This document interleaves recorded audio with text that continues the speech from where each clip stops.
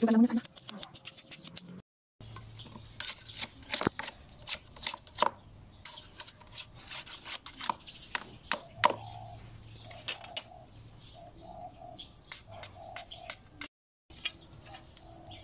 Baka magalit si Jumboy din ba?